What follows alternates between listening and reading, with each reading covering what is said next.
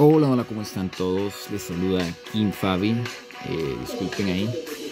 Eh, bueno, entonces muchísimas gracias primero que nada a todos los que continúan apoyando el canal. Muchas gracias. Eh, por favor, les insisto, les invito a dejar un comentario que yo les estaré respondiendo. Cualquier duda de lo que vean en mis videos, estamos a su servicio. Y bueno, les traigo una, una batalla eh, con el señor Milo Divino Renacido. Eh, una unidad que me ha costado bastante tratar de encontrarle esa cabida, ese, ese uso que tuvo un tiempo. Pero bueno, aquí de frente ya de entrada hay dos counters muy fuertes. Es Atena, que en esta ocasión no lo desescondió. Eso fue eh, genial. Y está Odiseo que con su rebote también lo, lo va a poder desesconder fácilmente. Y ahí también al señor Shijima que bueno, con su Dispel también lo podría desesconder si él hubiese decidido de esa manera. El rival que se enfoca completamente en quitarme los escudos, así que yo dije, bueno, no. Primera ronda no voy a volver a utilizar escudos estando un Odiseo.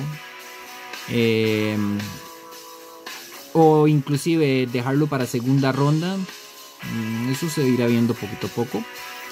Em, él comienza de una vez despotenciando a mi Thanatos con las puertas de, de Buda.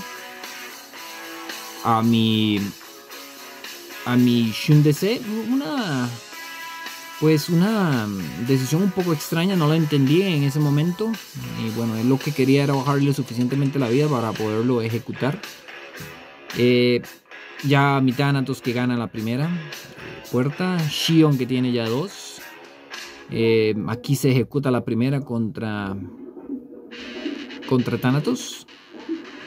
Eh, sigue la agresividad del contrario con parte de su Thanatos. Mi Thanatos que ya en este momento ya no va a hacer mucho daño.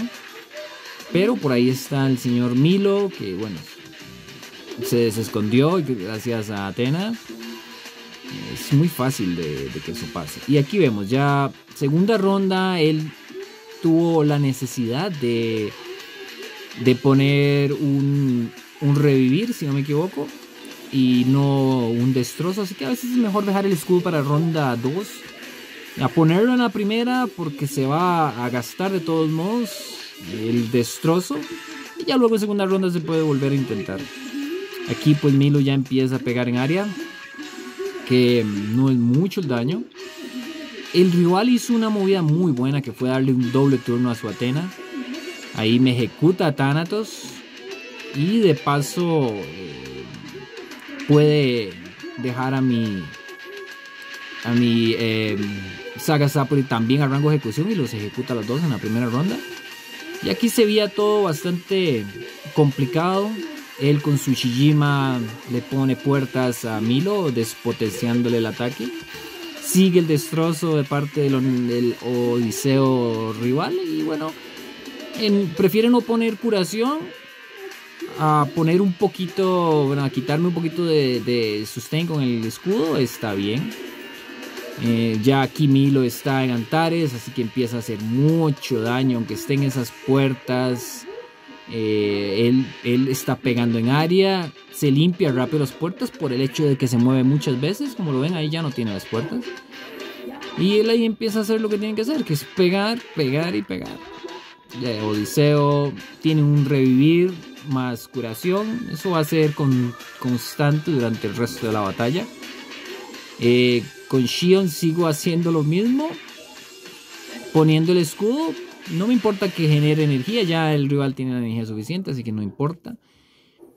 Pero él se sigue gastando ese secreto de, Odiseo en quitar un escudo donde puede poner, por ejemplo, una curación, un rebote, lo que sea. A veces, a veces enfocarse en quitar ese escudo de Shion tampoco es tan necesario. Eh, eh, eh, por ejemplo, yo no lo utilizo tanto. Si veo que tengo el suficiente daño para poder irme por otros lados no, no desperdiciar ese secretito que a veces puede ser utilizado en otra cosita. Y bueno, aquí vemos los datitos. En esta es el Milo Divino el que se lleva la mayoría del daño, con casi 2 millones y medio. Eh, parte del rival pues fue repartido entre Thanatos y Persephone. Y, bueno, este, ahí tienen otra probita más al Milo. Espero les gusta, les sirva en especial y nos vemos en el próximo video. Chao, chao.